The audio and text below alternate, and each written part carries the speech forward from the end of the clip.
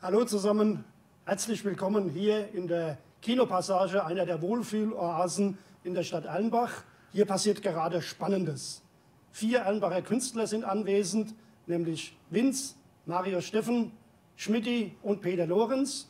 Und Multimedia Konzept zeichnet Musikvideos mit ihnen auf. Das Ganze wird im Auftrag der Stadt Allenbach organisiert vom Musikclub Beavers, der künftig seine Heimat hier in Allenbach finden wird.